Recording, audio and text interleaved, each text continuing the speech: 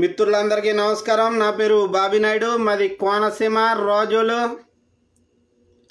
Janasena party ఏకైక MLA Rapaka Varaprasadarao గారు. రాజోల్ నియోజకవర్గం మీకు అందరికీ తెలిసిందే రాష్ట్ర వ్యాప్తంగా ఉన్న జన సైనికులందరికీ కూడా ఈ పేరు ఖచ్చితంగా తెలుస్తుంది.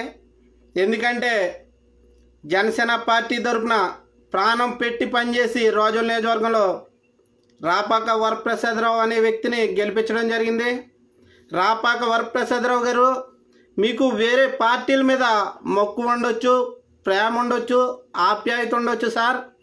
కాకపోతే మీరు ఏ పార్టీ మీద అయితే గెలిచారో ఏ పార్టీ బీఫామ్ మీద అయితే గెలిచారో అదే పార్టీని కించపరిచే విధంగా మాట్లాడటం మీకు సబబు కాదు సార్. మీరు మాట్లాడుతూ గాలికి కొట్టుకుపోయే పార్టీ జనసేన పార్టీ అంటూ మీరు నిన్న సంబోధించడం జరిగింది గోడపల్లిలో జరిగినటువంటి మీ యొక్క మీటింగ్లో. సార్ ఏ ఎండకి ఆ గొడుగు పట్టేటటువంటి మీరు ఈ మాట మాట్లాడటం హాస్యాస్పదం సార్ రాబాక వరప్రసాదరావు గారు. ఈ విషయం ఎందుకు చెప్తున్నానంటే రెండు వేల తొమ్మిదిలో మీరు కాంగ్రెస్ పార్టీ తరఫున ఎమ్మెల్యేగా గెలవడం జరిగింది. కానీ అప్పుడు మీ పేరు ఎవరికి కూడా తెలీదు. రాపక వరప్రసాద్ అంటే ఎవరికీ తెలీదు.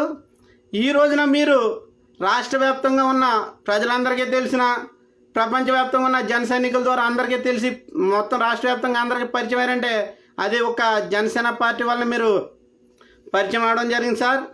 రెండు వేల తొమ్మిదిలో ప్రీతమ ముఖ్యమంత్రి వర్యులు అప్పట్లో రాజశేఖర రెడ్డి గారు మరణించిన తర్వాత జగన్మోహన్ రెడ్డి గారు ఓదార్పు యాత్ర మొదలుపెట్టినప్పుడు నెక్స్ట్ సీఎం జగన్మోహన్ రెడ్డి గారు అవుతారు ఖచ్చితంగా అని చెప్పి జగన్మోహన్ రెడ్డి గారు వెనకాలే తిరిగి రా మన రోజుల నియోజకవర్గం మొత్తం మీరు ఓదార్పు యాత్ర అతనితో పాటు చేయడం జరిగింది.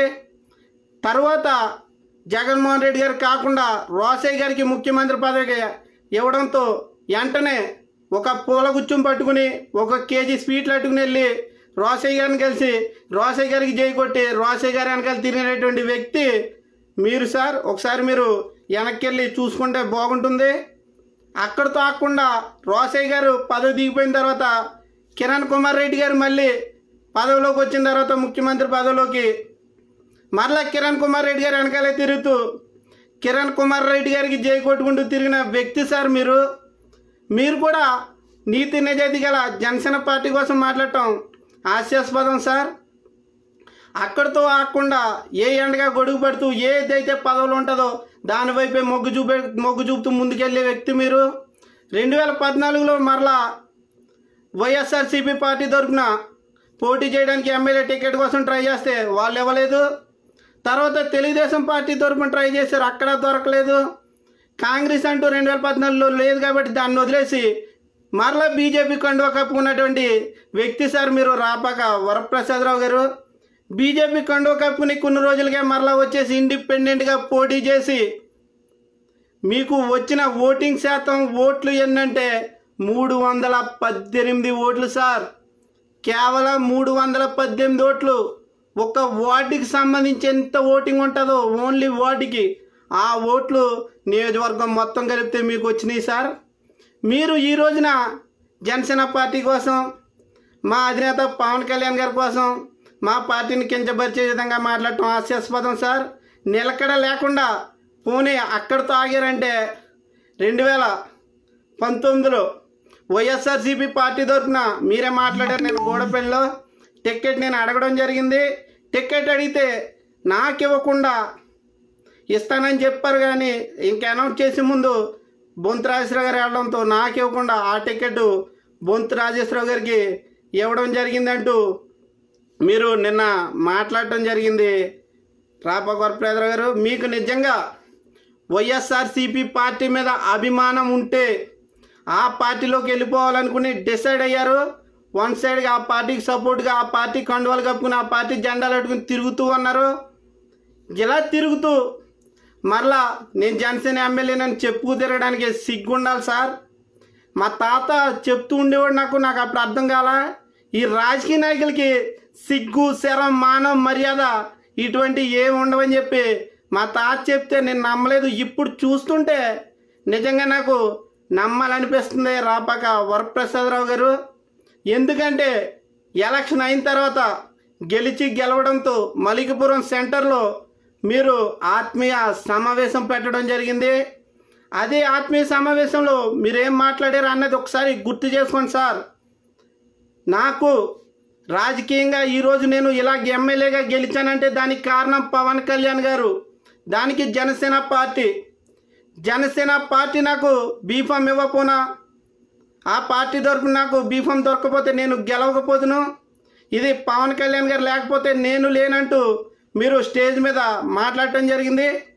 మరలా ఈ రోజున మీరేం మాట్లాడుతున్నారంటే గాలి కొట్టిపోయే పార్టీ అందులో ఉంటే అంత లేకపోతే ఎంత పార్టీ అంత అన్న విధంగా మీరు మాట్లాడుతున్నారు సార్. అదే గాలి కొట్టిపోయే పార్టీలోనే గెలిచారు సార్. ఆ పార్టీలో మీకు రూపాయి ఖర్చు లేకుండా బీఫామ్ ఇవ్వడం జరిగింది. ఆ పార్టీలో డబ్బు మొత్తం ఎవరు ఖర్చు పెట్టారు అంటే జన సైనికులు ఖర్చు పెట్టారు. నాకులాగా ఎంతోమంది విదేశాల నుంచి వచ్చేసి ఉద్యోగాలను వదులుకుని ప్రాణం పెట్టి మరీ పనిచేశాను సార్. అందులో నేను ఒక్కడిని నేను గర్వంగా చెప్తా. కానీ మీరు చేసిందేంటి? అక్కడ మేము ఫండ్ల రూపంలో అయితే కానీ మేము వసూలు చేసిండు కనీసం రోజుకి ఐదు వందల రూపాయలు సంపాదించుకునే వ్యక్తి కూడా ఇరవై వేసి వేలు పదేసి వేలు ముప్పై వేలు పార్టీ కోసం ఖర్చు పెట్టారు సార్. ఫండ్ రూపంలో మీకు అందజేయడం జరిగింది సార్. అందులో కూడా ఇప్పుడున్న మాటలను బట్టి మీరు చేసేదాన్ని బట్టి అప్పట్లో ఉన్న డబ్బే దగ్గర దగ్గర కోటి రూపాయల దాకా మీరు వెనకేసుకుని ఇప్పుడు కార్లు అవి కొనుక్కుంటారని చెప్పి చెప్పడం కూడా జరుగుతుంది. సార్ ఇక్కడ ఇంకొక విషయం ఏంటంటే అభివృద్ధి మొన్నటిదాకా మీరు స్టేజ్ల మీద ఎక్కడికి వెళ్ళినా సరే మాట్లాడుతూ ఈ వైఎస్ఆర్సీపీ పార్టీ అభివృద్ధి అన్నదే చేయట్లేదు ఎక్కడ అభివృద్ధి లేదు అది లేదని మీరు మాట్లాడిన మీరు ఈ రోజున రాజోల్ నియోజకవర్గం అబ్బో తెగ అభివృద్ధి చెందింది ఓ అభివృద్ధిలో దూసుకుపోతున్నట్టు మీరు మాట్లాడుతున్నారు. సార్ రాజోల్ నియోజకవర్గంలో ఎక్కడ ఏ అభివృద్ధి జరిగింది సార్? నాకు అదంతా వద్దు కానీ రాజోల్ నియోజకవర్గం కేసుదాసుపాలెం గ్రామం ఉండపేలిపాలెం ఉండపేలిపాలెంలో మంచినీరు లేక ఎంతోమంది ఎన్నో ఇబ్బందులు పడుతున్నారు సార్. అప్పట్లో నయం సార్ ఒక రోజు కాకుండా ఇంకొక రోజైనా వాటర్ వచ్చేది. ఇప్పుడు ఒక్క రోజు వస్తే మూడు రోజులు వాటర్ రావట్లేదు సార్. తాగునీరు లేక గోదావరి జిల్లా సార్ సముద్ర తీర ప్రాంతం కానీ తాగునీరు లేక ఎన్నో అవస్థలు పడుతూ ఎన్నో ఇబ్బందులు పడుతున్నారు సార్. ఉప్పు నీటిలో స్నానాలు చేసి ఉప్పు నీటిలో బతకాల్సిన దుస్థితి తీసుకొచ్చారు సార్. మీరు సముద్రం పక్కన ఇసుకతో వేస్తారని చెప్తే నేను నమ్మలేదు అది ఎంతవరకు నిజం అబద్ధం నాకైతే తెలియదు కానీ ఈ రోజున తాగడానికి నీరు లేదు.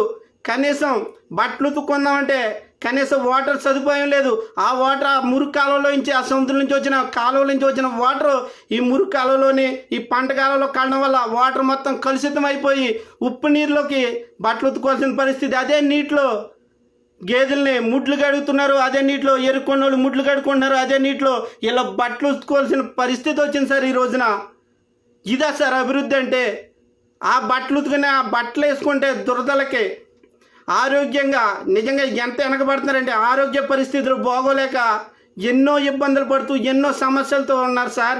ముఖ్యంగా మీరు చేయాల్సింది ఏంటంటే అభివృద్ధి అని చెప్పి కొన్ని కోట్ల రూపాయలు వంద కోట్ల దాకా జగన్మోహన్ రెడ్డి గారు రిలీజ్ చేయరని మీ నోటితో మీరే చెప్పడం జరిగింది. ఆ డబ్బుతో మంచినీటి సదుపాయం కల్పించండి సార్. రాపాక వరప్రసాదరావు గారు మీరు ఎలా గెలిచారన్న విషయం మీకు తెలుసు మాకు తెలుసు. వెనకాల ఎవరెంత ఎంత ప- పని చేశారు ఎవరెంత ఖర్చు పెట్టారు ఎంత అన్నదే మీకు తెలుసు మాకు తెలుసు. కాకపోతే ఏదో అభివృద్ధి చేస్తామని చెప్పి తాగునీరు కూర లేకుండా చేసిన పరిస్థితి ఈరోజు రాజుల నియోజకవర్గంలో ఉంది సార్. మీరు చేయగలిగితే కనీస వసతి సదుపాయం కింద మంచినీటి సదుపాయాన్ని ప్రజలకు అందించండి సార్. అంతేగాని ఏమీ లేకుండా పవన్ కళ్యాణ్ గారి మీద జనసేన పార్టీ మీద మీరు బురద జల్లాలనే ప్రయత్నం చేస్తారు సార్. ఖచ్చితంగా తిప్పికొడతాం సార్. మీరు చేసే ప్రతి దాన్ని తిప్పికొడతాం. మీరు ఎలక్షన్ ముందు ఒక మాట అన్నారు సార్. వైఎస్ఆర్సీపీ పార్టీలోకి వెళ్ళాలంటే బోలెడు అంత డబ్బు కావాలి బోలెడని సంచులు కావాలి అని. ఎక్కడికి వెళ్ళిపోయింది సార్? ఏం మాట్లాడుతున్నారు సార్? మనిషి అన్న తర్వాత ఒక మాట మీద నిలబడాలి సార్. నిజాయితీగా నిలబడాలి సార్. మీ మీద మాకు నిన్నటిదాకా ఎంతో కొంత గౌరవం ఉంది. మీరు మాట్లాడిన మాటలు చూసిన తర్వాత మొత్తం అయితే గౌరవం అన్నదే పోయింది సార్. మీకు ఓట్లు వేసామంటే కేవలం మీ వెనకాల ఉన్న పార్టీని చూసి జనసేన పార్టీని చూసి మీకు రాజుల నియోజకవర్గంలో ఓట్లేసి గెలిపించడం జరిగింది సార్. రాపాక వరప్రసాదరావు గారు మీరు గుర్తుపెట్టుకోవాలా? మిమ్మల్ని చూసి ఎవరు ఓట్లు వేయలేదు సార్. నేనైతే పవన్ కళ్యాణ్ గారిని చూసే ఓటేసా. నా కుటుంబ సభ్యులైతే పవన్ కళ్యాణ్ గారిని చూసే ఓటేశారు. రాజోలు నియోజకవర్గంలో పవన్ కళ్యాణ్ గారి అభిమానులు అయితే కానీ జన సైనికులు అయితే కానీ మొత్తం అందరూ కూడా వారి సొంత డబ్బు ఖర్చు పెట్టుకుని మరి తిరగడం జరిగింది ప్రచారాలకి. ఏ రోజైనా ఏ బండికైనా ఒక రూపాయి పెట్రోల్ కానీ ఏదైనా మీ దగ్గర తీసుకున్నారా? రాపక వరప్రసాదరావు గారు జన సైనికులని? నేను ఈరోజు అడుగుతున్నా లేదు నిస్వార్థంగా సొంత డబ్బు వాళ్ళ కష్టపడ్డ డబ్బు అంతా పార్టీకి పణంగా పెట్టి ఖచ్చితంగా రోజు నియోజకవర్గంలో జనసేన పార్టీని గెలిపించాలనే ఉద్దేశంతో ఖర్చు పెట్టి చేయడం జరిగింది. ఈరోజు మీరు ఆ విధంగా ఎంతోమంది కష్టాన్ని తుంగలో తొక్కి ఒక పార్టీ మీద గెలిచి మరలా అదే పార్టీని బురద జల్లడం అన్నది మాత్రం ఖచ్చితంగా చాలా తప్పు చేస్తున్నారు సార్. గుర్తుపెట్టుకోండి భవిష్యత్తులో ఇది చాలా దెబ్బ అయితే మీకు తగులుద్దని చెప్పేసి నేను రోజు నియోజకవర్గం నుంచి ఒక జన సైనికుడిగా మీకు చెప్తున్నాను. మీరు ఇంకొక మాట మాట్లాడటం జరుగుతుంది సార్. రాపాక వరప్రసాదరావు గారు మీకు నిజంగా వైఎస్ఆర్సీపీ పార్టీ మీద మొక్కువే ఉంటే మీరు మాట అన్నారు. నాకు రెండు వేల మంది ఇప్పుడు అంతమంది ఉన్నారు రెండు వేల మంది ఎక్కువ ఉన్నారు ఇప్పుడు రెండు వేల మంది మన వాళ్ళు తక్కువ ఉన్నారని చెప్పి మీరు మాట్లాడటం జరుగుతుంది. ఈ విధంగా మాట్లాడుతూ మా ఎస్సీ ఎస్టీ సోదరులు మరియు కోప్ సోదరుల మధ్య జన సైనికుల మధ్య చిచ్చులు పెట్టి మీరు రాజకీయంగా ఎదగాలి. జన సైనికుల్ని లొంగపరుచుకోవాలని చూస్తున్నారని నాకైతే అర్థమైంది సార్. దయచేసి వైఎస్ఆర్సీపీ పార్టీ కార్యకర్తలందరూ కూడా గమనించాలి సోదరులారా. ఈ ఈ కుల పిచ్చితో కుల గజ్జితో ఈ రాజకీయ నాయకులు చేస్తున్నటువంటి దీన్ని మీరు గమనించాలి. వీళ్ళు చేసేది ఏంటంటే అంటే మతాల మధ్య గొడవలు పెడతాం. కులాల మధ్య చిచ్చులు రేపడం. తర్వాత వాళ్ళని మేమే వదిలించామని చెప్పి సంకలు గుద్దుకుంటూ లొంగబరుచుకోవడానికి చూస్తున్నారు సోదరులారా దయచేసి గమనించండి. ఇటువంటి కుటీర రాజకీయాలు చేసే కుళ్ళు రాజకీయాలు చేసే వీళ్ళని మీరు గుర్తుపెట్టుకుని రాబోయే కాలంలో నిజాయితీగా ఓటేయండి. ఈసారి రోజుల నియోజకవర్గంలో మనమంటే ఏంటి జన సైనికుల పవర్ ఏంటి జన సైనికుల దొమ్మేంటి అన్నది ఖచ్చితంగా వీళ్ళకైతే చూపించాలి. అదేవిధంగా వైసీపీ సోదరులకి ఒక విషయం చెప్పదలుచుకున్నా నేను జనసేన పార్టీ తరఫున గెలిచినా కానీ గెలిచిన తర్వాత జగన్మోహన్ రెడ్డి గారిని కలవడం జరిగిందని రాపగోరప్రసాద్ గారు చెప్పడం జరిగింది. తర్వాత జగన్మోహన్ రెడ్డి గారు మనం మనం కలిసి పని చేద్దామన్నారు అందుకని అప్పటి నుంచి నేను జగన్మోహన్ రెడ్డి గారితో కలిసి పని చేస్తున్నాను అన్నారు. శుభపరిణామం బాగానే చెప్పారు. తర్వాత ఇంకో మాట ఏమన్నారంటే ఇక్కడ బొంతు రాజేశ్వరరావు గారిని అతను నిజంగా తొమ్మిది సంవత్సరాల నుంచి రోజుల నియోజకవర్గంలో పార్టీని బలోపేతం చేసుకుంటూ వైసీపీ పార్టీని ముందుకెళ్తున్నారు. పాపం అతన్ని ఈ రోజున వెనక్కి నెట్టేసి వీళ్ళు చేసే ఈ రాజకీయాల్లో అతన్ని మోసం చాలా దారుణంగా మోసం చేశారు. దయచేసి వైసీపీ కార్యకర్తలందరూ గమనించండి. నిన్న కాక మొన్న వచ్చినటువంటి వ్యక్తులు రాజకీయంగా ఎదగడం కోసం రాజకీయంగా లబ్ధి పొందడం కోసం పాతోళ్ళని తొక్కే ప్రయత్నం చేస్తున్నారు దయచేసి ఇప్పటికైనా గమనించి రాజకీయాన్ని రాజకీయంగానే చేయండి. మనం రాజకీయంగా శత్రువేమో కానీ మనం ఇప్పటికీ వ్యక్తిగతంగా అయితే మిత్రులమే. ఎందుకంటే మనకే మనకి ఎప్పుడు కూడా ఎటువంటి గొడవలు కానీ తగదాలు కానీ ఇటువంటి ఏమీ లేవు. రాజకీయంగా మాట మాట అనుకుంటాం. అది అక్కడ వరకే. కానీ వీళ్ళు వ్యక్తిగతంగా టార్గెట్ చేస్తూ జన సైనికుల మీద ఎస్సీ ఎస్టీ అట్రాసిటీ కేసులు పెట్టించి ఏం సమాధానం చెప్దాం అనుకుంటున్నారు సార్? ఏం జవాబు చెప్దాం అనుకుంటున్నారు సార్? అంటే మిమ్మల్ని గెలిపించినందుకు మీరు చేసేది ఏంటంటే జన సైనికుల మీద కేసులు పెట్టడమా సార్ అని చెప్పి నేను ఈరోజు మిమ్మల్ని అడుగుతున్నాను. కానీ మీరు చేసేది చాలా పెద్ద తప్పు సార్. గుర్తుపెట్టుకోండి. ఇప్పటికైనా తెలుసుకుని మసులుకుంటే మీకు నిజంగా వెళ్ళిపోవాలని ఉంటే ఏ పార్టీ మీద అయితే మీరు బీఫామ్ తీసుకుని గెలిచారో ఉచితంగా ఫ్రీగా బీఫామ్ తీసుకుని మీరు జనసేన పార్టీ తరఫున గెలవడం జరిగింది. తర్వాత ఎంత ఖర్చు అయింది అన్నది మీకు తెలుసు. ఆ ఖర్చు అంతా పెట్టుకున్నది ఎవరంటే మేము మా జన సైనికులం.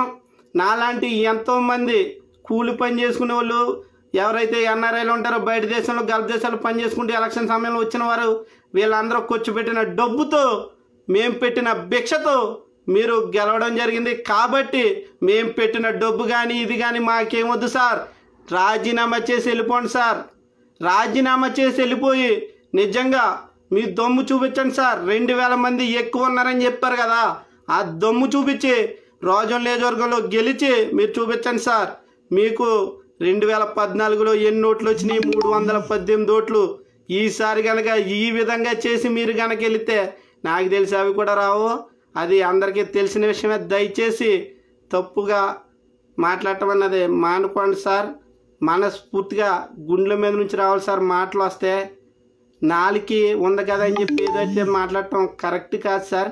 మీరు మాట్లాడిన వీడియోలు అన్నీ కూడా ఒక్కసారి రివైండ్ చేసుకుని చూస్తే ఏం మాట్లాడుతున్నారో ఎవరు ఏ తప్పు చేశారో కూడా తెలుస్తుంది. ఎందుకంటే ఏ ఎండగా గొడుగు పడుతూ ఒక పార్టీలో తిన్నగా లేకుండా ఒక మొక్కలో చెప్పాలంటే ఎవరైతే అధికారులు ఉంటారో వాళ్ళకి భజన చేసుకుంటూ వెళ్ళే రాజకీయ నాయకుల్ని ఇక నుంచి ఖచ్చితంగా వాళ్ళకి బుద్ధి చెప్తామని చెప్పి మేమైతే చెప్తున్నాం. రాపక వరప్రేదరావు గారు ఇక్కడైతే చెప్పదలుచుకున్నా నీతి నిజాయితీకి నిలవెత్తు నిదర్శనం మా జనసేన అధినేత పవన్ కళ్యాణ్ గారు మీలాంటి వారు ఎంతమంది వచ్చినా ఎంత బురద జల్లాలని చేసినా కానీ ఊడదని చెప్పి తెలియజేయడం జరుగుతుంది. అదేవిధంగా రాజోలు గడ్డ జనసేన అడ్డ ఇది ఎన్నాళ్ళైనా సరే గుర్తుపెట్టుకోండి. ఎందుకంటే రాజోలు నియోజకవర్గంలో ఉన్నది నిస్వార్థ జన సైనికులు. దేనికి లొంగే వాళ్ళైతే కాదు సార్ రాపాక వరప్రసాదరావు గారు. ఒక్కసారి మరోసారి మీకు ఒక విషయం చెప్పదలుచుకున్నా. గాలికి ఎగిరిపోయే పార్టీ జనసేన పార్టీ కాదు సార్. పునాదుల నుంచి వచ్చిన పార్టీ సార్. నిక్కచ్చిగా అట్లాగే ఉంటుంది. కాకపోతే ఏ గాలి ఎట్టేస్తే అటు పచ్చగాలి వేస్తే అటు లేకపోతే పసుపు గాలి వేస్తే ఇటు వెళ్ళిపోయి ఊగిపోయేది. మీరు సార్ రాపాక వరప్రసాదరావు గారు మీరు కూడా మా పార్టీ కోసం మాట్లాడటం హాస్యాస్పదం సార్. ఇది ఎట్లా ఉందంటే శ్రీరెడ్డి వచ్చి బురద జల్లి సినిమా ప- సినిమా రంగంలో సినిమా రంగంలో అది జరుగుతుంది ఇది జరుగుతుందంటూ బురద జల్లుతూ మాట్లాడుతూ మళ్ళీ అదే సినీ రంగంలో అదే సినీ రంగం మీద బతుకుతున్న క్యారెక్టర్ శ్రీరెడ్డి సార్ అర్థమైందని చెప్పి నేను అనుకుంటున్నాను. ఇప్పుడు మీరు చేసేది కూడా అదే విధంగా ఉంది. ఎక్కడైతే కూడెడుతున్నారో అక్కడే తిట్టి మళ్ళీ అదే కూడు తినడానికి ప్రయత్నిస్తున్నారు సార్. ఇది తప్పు. మీకు నిజంగా బలం ఉంది రోజుల నియోజకవర్గంలో. ఆ బలాన్ని మీరు చూపించుకోండి నిజాయితీగా చూపించుకోండి మొగాళ్ళ చూపించుకోండి. అంతేగాని ఒక బీఫామ్ మీద ఒక పార్టీ బీఫామ్ మీద గెలిచి దొడ్డుదారిని మేము వెళ్ళి అక్కడ సపోర్ట్ చేస్తున్నాం చేస్తున్నాం అన్నది చాలా తప్పు సార్. ఒకసారి మీ గుండె మీద చెయ్యేసుకుని మీరు చేసేది తప్ప రైట్ అన్నదే ఒక్కసారి ఆలోచించుకోండి. రాపాక వరప్రసాదరావు గారు ఇంకొక విషయం ఏంటంటే రాజోల నియోజకవర్గంలో జనసేన పార్టీ ఎప్పుడు ఎప్పుడు బలంగానే ఉంటుంది. మొట్టమొదటిగా గెలిపించుకున్నాం సార్. పవన్ కళ్యాణ్ గారి ముఖం చూసి మిమ్మల్ని గెలిపించుకోవడం జరిగింది తప్ప పవన్ కళ్యాణ్ గారి కోసం మేము ఉద్యోగాలు మానేసుకుని విదేశాల నుండి స్వదేశాలకు వచ్చి పవన్ కళ్యాణ్ గారి ముఖం చూసి పార్టీ కోసం పనిచేసాం సార్. మిమ్మల్ని చూసి చేయలేదు సార్. లక్ష లక్ష రూపాయలు ఇస్తానన్నా కానీ ఓటు అమ్ముకునే క్యారెక్టర్ మాది కాదు సార్. రోజు నియోజకవర్గంలో ఉన్న జన సైనికులు ఎవరిది కూడా కాదు సార్. లక్ష పోనగానే లక్షణంగా ఉంటాం సార్ రాజులలో సార్ గోదావరిలో సార్ కోనసీమ ముద్దు సార్ పౌరుషం అలా ఉంటుంది సార్ రోసం అలా ఉంటుంది సార్ అభిమానం అలా ఉంటుంది సార్. కానీ ఏ అభిమానం ఏ ప్రేమ ఏ ఆప్యాయత అయితే ఉంటుందో దాన్ని చూపిస్తూ ఉంటాం సార్. అలా కాదని చెప్పి ఏదో తోకాడిస్తే ఏ విధంగా ఉంటుంది అన్నది మీకు తెలుసు. ఎందుకంటే మీరు కూడా రాజులలో మన కోసం మనం మనం చెప్పుకోనవసరం లేదు. రాపక వరప్రసాదరావు గారు దయచేసి మీకు వైఎస్ఆర్సీపీ పార్టీ మీద అభిమానం ప్రేమ ఆప్యాయత ఉంటే వెళ్ళిపోండి రాజీనామా చేసి వెళ్ళిపోండి. మిమ్మల్ని ఎవడ ఆపట్ల? ఏ ఒక్క జన సైనికుడు కూడా మిమ్మల్ని ఆపట్లేదు. మీకు ఎప్పుడు తలుపులు ఓపెన్ చేసే ఉన్నాయి? వదిలేసాం. వెళ్ళిపోండి రాజీనామా చేసి వెళ్ళిపోండి సక్రమంగా వెళ్ళిపోండి. అంతేగాని బురద జల్లేద్దాం నోటికి ఏదో వస్తే అది మాట్లాడేద్దాం అంటే మాత్రం కరెక్ట్ కాదు సార్. ఎందుకు సార్ ఇలా మాట్లాడటం? దయచేసి అర్థమైంది అనుకుంటా ఎందుకంటే అక్కడ ఉన్నది ఆకాశం లాంటి పవన్ కళ్యాణ్ గారు సార్. మీరు ఒక బురద జల్లుతో ఇలా పైకి ఇస్తే అది వచ్చి మీ ముఖం మీద పడుతుంది ప్రత్యేకించి మీ మీద పడుతుంది. అటువంటి ప్రయోగాలు ప్రయత్నాలు చేయకండి సార్. ఎందుకంటే సైంటిస్ట్ లాగా ఇలా గాలిలోకి అలా నీళ్ళు ఎగరేసి ఆ నీళ్ళ ఆకాశం మీద బురద వేసాం కదా అనుకుంటారేమో అది మళ్ళీ మీ మీద పడితే కొంచెం ఆలోచించుకోండి సార్. జనసేన పార్టీ గురించి మాట్లాడే ముందు మీకు అభిమానం ఆప్యాయత ప్రేమ ఉంటే చూపించుకునే విధంగా చూపించుకోండి. ఇంకా ముగించే ముందు ఇంకొక విషయం ఏంటంటే నీతి నిజాయితీకి నిలవెత్తు నిదర్శనం మా జనసేన అధినేత పవన్ కళ్యాణ్ గారు. రాజోలు కుర్రాడుగా చెప్తున్నా రాజోలు గడ్డ జనసేన అడ్డ అని చెప్పి మరొకసారి తెలియజేస్తున్నాను. రాపాక వరప్రదరావు గారు మీరు ఏ పార్టీలో ఉంటారన్నది మాకు అనవసరం. మా పార్టీ నుంచి మాత్రం రాజీనామా చేసి వెళ్ళిపోతారని ఆశిస్తూ మీ జన సైనికుడు మీకోసం కష్టపడ్డ ఒక కుర్రోడిగా అడుగుతున్నాను. రాజీనామా చేసి వెళ్ళిపోండి సార్ దయచేసి. భారత్ మాతాకి జై. జై జనసేన. జై హింద్. ఏంటండి? వీడియో నచ్చిందా? అయితే ఓ లైక్ వేసుకోండి. లేదంటే ఓ కామెంట్ చేయండి. ఎప్పటికప్పుడు మా వీడియోస్ చూడాలంటే సబ్స్క్రైబ్ చేసుకోండి.